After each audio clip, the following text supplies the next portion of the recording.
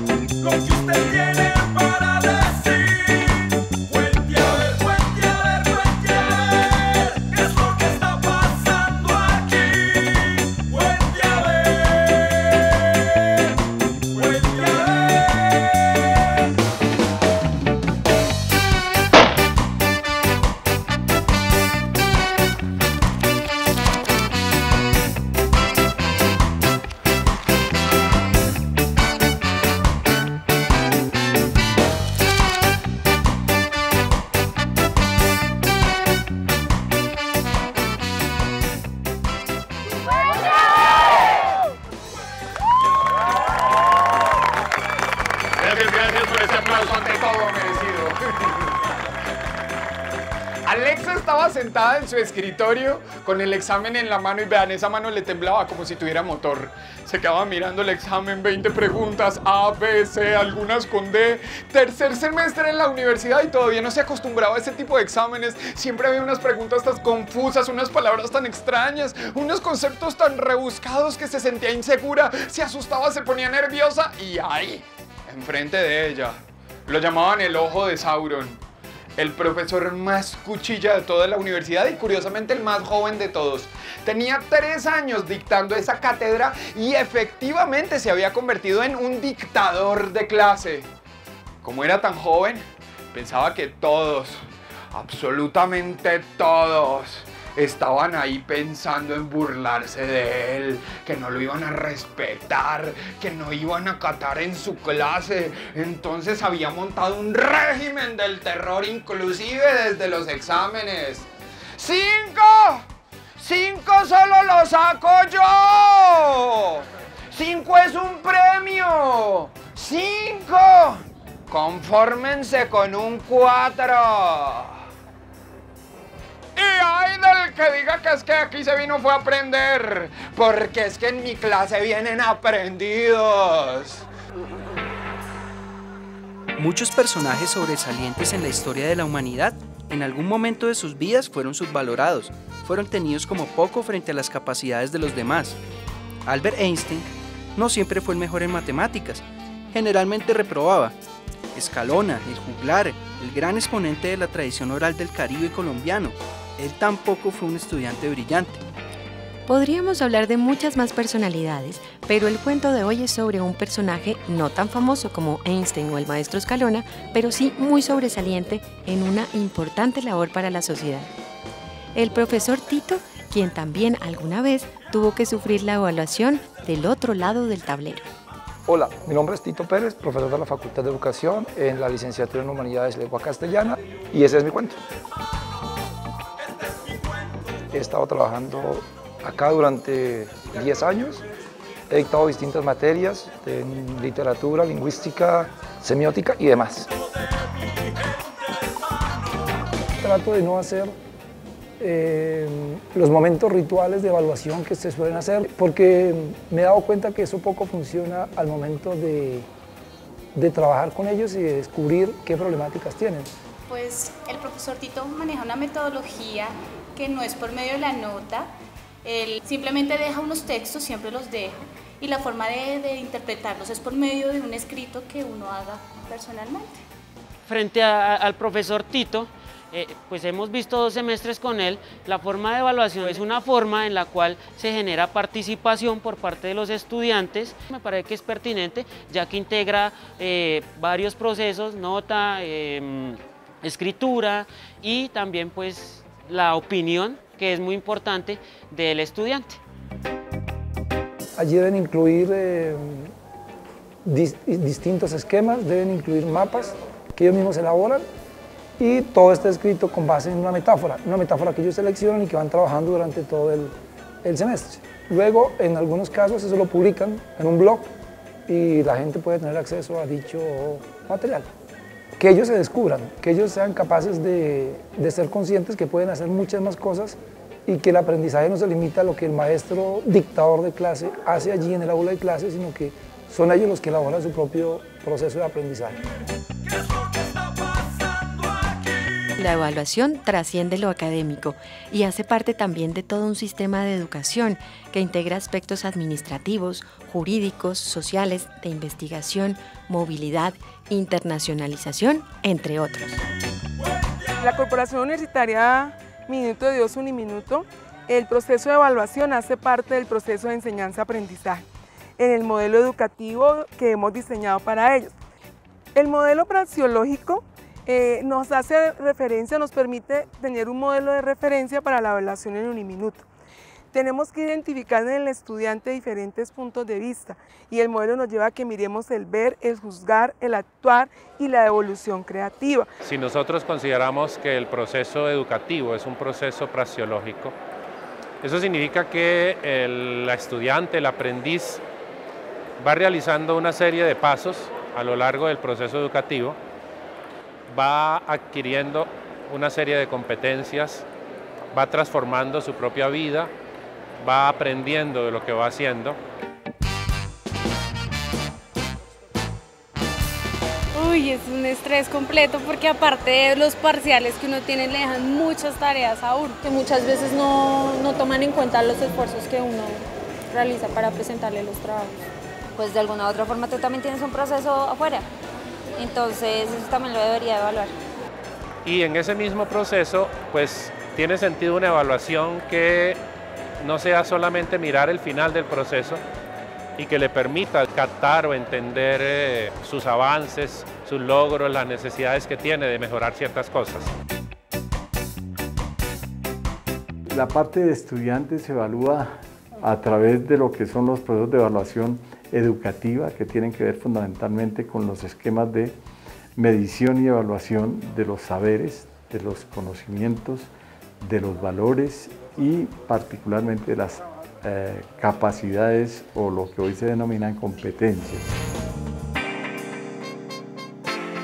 Aunque la política nos diga a nosotros que debemos finalmente tener un número, una cuantificación del estudiante, allí en el aula cómo se da, se da esa relación, cómo se lleva a cabo ese proceso, cómo de alguna manera el estudiante y el docente interactúan, se correlacionan para que se piensen entre los dos que el proceso de aprendizaje debe ser para la vida y no para finalmente decir qué le gusta a mi docente que yo le voy a responder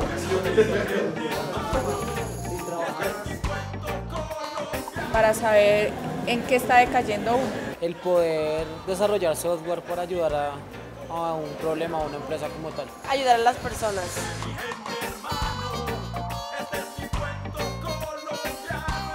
Por ejemplo, con mis estudiantes, eh, uno ve que si uno lleva un buen proceso, eh, les transmite el conocimiento, hace que ellos también descubran el conocimiento y por medio de las diferentes actividades desarrollen sus habilidades porque si se, tiene un buen desempeño, una buena metodología y estrategias de enseñanza, así mismo se van a ver los resultados. Entender la evaluación como un proceso significa que el maestro se vuelve un acompañante de ese proceso y que está más presente en el proceso de aprendizaje del estudiante, en sus inicios, en los primeros momentos, y no es tan necesario que esté al final certificando nada. Entonces evaluar nos posibilitaría cambiar el currículo, cambiar las prácticas de eh, enseñanza, cambiar las prácticas de aprendizaje. Cuando uno evalúa, uno conoce al tipo de alumnos que tiene enfrente, eh, conoce sus estilos cognitivos, conoce sus necesidades, conoce sus fortalezas y a partir de allí puede plantear eh, trabajos que lleven a que cada uno de ellos desarrolle de forma particular sus propios saberes. La evaluación en el contexto de la universidad se viene afianzando como uno de los procesos indispensables para el mejoramiento de la calidad y especialmente para observar cómo se está contribuyendo a la formación de los estudiantes en diferentes ámbitos. Es más importante que el otro aprenda, enseñar a aprender, que enseñar en sí mismo.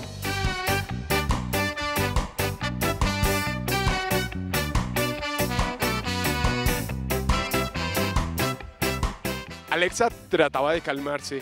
Cerraba los ojos, respiraba profundo para contener los nervios. Y cuando sentía que las palabras se aclaraban, se dio cuenta de que su compañera de la izquierda estaba más perdida que un pavo en Navidad. La pobre jugaba con la hoja, la miraba por un lado, la miraba por el otro, le daba la vuelta, no entendía, ¿y esto qué es? Se mordisqueaba el esfero, ese esfero que le prestan a uno y viene con la baba escurriendo. Y, y, y, Alexa alcanzó a mirarla y pensó que tenía que concentrarse en su propio examen, no sin antes mirar hacia la derecha. A la derecha estaba un compañero de ella, ah, le, le decían plagión al personaje. Tenía un anillo, el tipo se podía sacar un 0 en el examen, pero un 5, es que hasta un 10 en ingenio. El tipo tenía un anillo con toda la copia. Iba revisando poco a poco las preguntas antes de que se las hicieran. Ella volvió rápidamente a su examen y empezó a responder. Una bien, dos bien, esta también la sé, esta otra la sé, porque todas son las C. ¿Será que estoy equivocada? Y en ese instante escuchó la voz de la compañera del lado que le decía, eso que nunca le pasó a uno en un examen. La quinta. A ella le volvieron los nervios. La mano le empezó a temblar de nuevo y entonces la miró y le dijo, no, no sé, no sé. Ay, usted siempre sabe, vos, usted se la pasa estudiando, la quinta. Y en ese momento se escuchó la voz rotunda del ojo de Sauron que decía, a ver, a ver, a ver, a ver, ¿qué es lo que está pasando allá ustedes? ¿Están copiando en mi clase? ¿Están tratando de copiarse en mi clase? Se acercó a ellas dos, tomó las respectivas hojas, pero fue Diana la que se puso de pie y le dijo, no, profesor, era yo la que estaba copiando, ella no tiene nada que ver. Así que el hombre devolvió la hoja de Alexa y antes de irse le dijo, pero tiene menos un punto. Alexa recibió su examen. Respiró profundo y respondió rápido y de cualquier manera.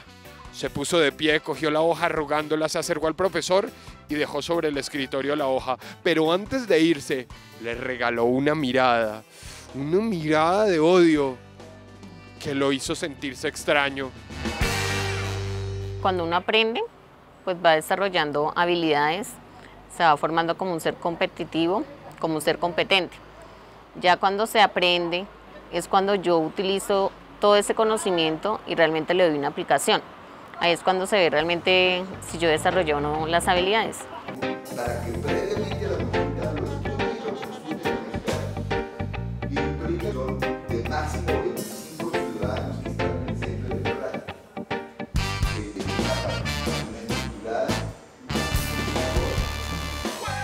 Para la Facultad de Educación de la Corporación Uni- Universitaria Minuto de Dios Uniminuto, eh, la mirada crítica, pero también la mirada prospectiva, constructiva sobre la evaluación, la evaluación de los estudiantes, la evaluación eh, de las competencias y también la evaluación de los educadores. Es mirar que efectivamente eh, nosotros cumplamos con el propósito de que los alumnos aprendan y que, de los, y que los educadores efectivamente generen ambientes de aprendizaje. Diría que estamos viviendo una revolución muy importante en la educación, que es la, la- la revolución de las nuevas tecnologías, la revolución del Internet. Y eso ha cambiado y está cambiando fundamentalmente el sistema educativo. ¿Por qué? Porque el rol del maestro cambió y el rol del estudiante cambió. El maestro ya no es el dueño del conocimiento, ya no es el sabio que tiene la verdad, que viene al aula de clase a decirle al muchacho, yo le voy a transmitir mi conocimiento. No, porque ya el conocimiento está en el espacio y el muchacho lo que tiene que es aprender a captar ese conocimiento y a realizar en su propio proceso de aprendizaje. Y el rol del maestro tiene que ver el de, de ayudarle, de acompañarlo, de, de ponerlo a, pensar, de hacerle preguntas para que él piense y desarrolle. La relación evaluación y calidad es una relación directa, van de la mano. En la medida en que evaluamos y en la medida en que evaluamos bien, seguramente la calidad en los docentes será muy superior. Con las pruebas de llamado ICFES, que ahora se llama ICFES Saber 11, eh, se trata de evaluar el desarrollo de competencias que el estudiante debe adquirir en su formación escolar de educación básica y media. Eh, en el caso de las pruebas de CAES, lo que se trata de evaluar son las competencias que debe desarrollar en la universidad. ¿Cómo registrar la nota de nuestros estudiantes, cuantitativa o cualitativamente? Para eso también tenemos que pensar en el mundo globalizado en el cual vivimos hoy. Nuestros estudiantes no son estáticos, se movilizan no solamente en las universidades colombianas, sino que también hay movilidad internacional. ¿Está listo el mundo para una evaluación cualitativa? El mundo todavía nos pide que evaluemos a nuestros estudiantes y le demos una medida a ese conocimiento, que generemos unos estándares que podamos registrar y que le permita a los estudiantes mostrar una suficiencia académica. Tanto el examen del ICFES como Saber 11, como Saber Pro, los ECAES, producen además información que pretende y que busca informar los procesos decisorios de todo el, el sistema educativo es decir, informar a los colegios, informar a las universidades, informar a los distintos actores que tienen que tomar decisiones acerca de los niveles de calidad y, los, y las, las posibilidades de mejor las oportunidades en, en, educación. Se debería desde la parte educativa eh, formar a los estudiantes a ser competentes en todo nivel, para que así cuando lleguen a, enfrentarse a, a un mundo laboral, puedan desempeñarse muy bien.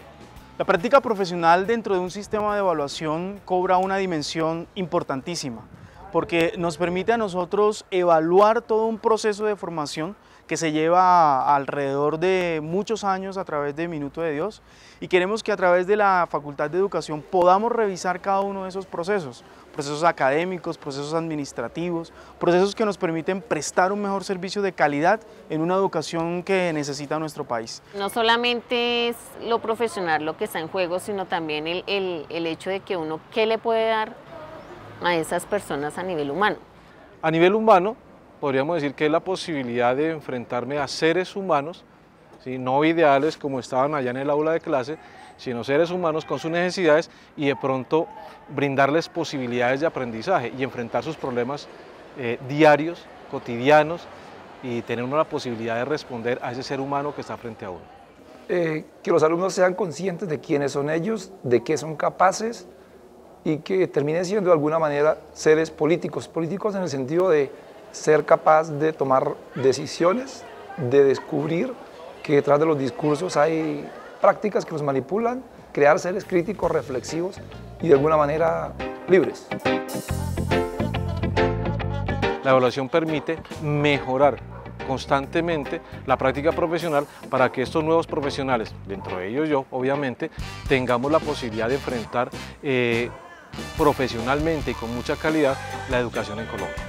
A la semana siguiente, Alexa entró al salón y detrás de ella, su profesor, que se acercó a un alumno de los que estaba en la primera fila y dejó sobre su escritorio los exámenes. El hombre se dio la vuelta y entregó las hojas a todos sus compañeros y Alexa recibió el suyo y pronto se dio cuenta de que no tenía nota, así que se asustó, miró a todos sus compañeros y en ese instante descubrió que ninguno de los exámenes estaba calificado. Sauron el ojo de Sauron. El profesor Mascuchilla se puso de pie y los miró a todos y les dijo, muchachos, hace una semana uno de ustedes me hizo caer en cuenta de una cosa.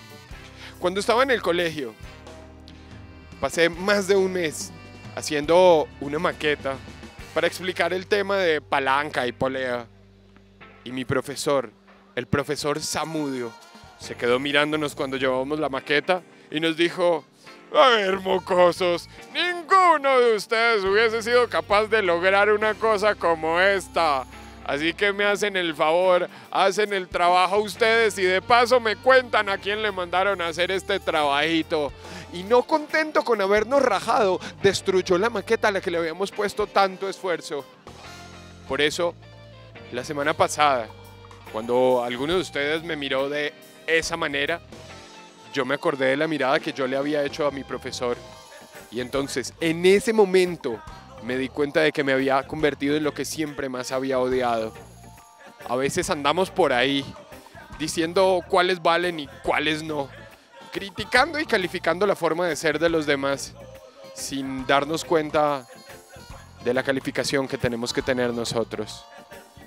Por eso, muchachos, cada vez que sientan eso mismo que yo sentí, o cada vez que anden por ahí por el mundo calificando a los demás desde una posición arriba, piénsenlo bien y entonces me cuentan.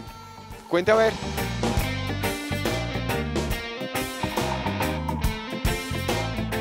Una propuesta de evaluación coherente y de calidad debe tener claro el modelo de docente con el que se pretende trabajar y el perfil de estudiante que se quiere formar. Debe encontrar un sentido en la institución que la aplica. No es posible evaluar al profesorado o al estudiantado sin tener en cuenta su contexto socioeconómico, así como los valores de la universidad, sus fundamentos, sus líneas de acción. Pero sobre todo, el mayor reto es hacer que la evaluación se convierta en mejora, generar cambios en la estructura mental del individuo que desemboquen en cambios en su desempeño, utilizando los resultados de la evaluación con fines de desarrollo humano y profesional, en aras de mejorar la calidad de la educación del país.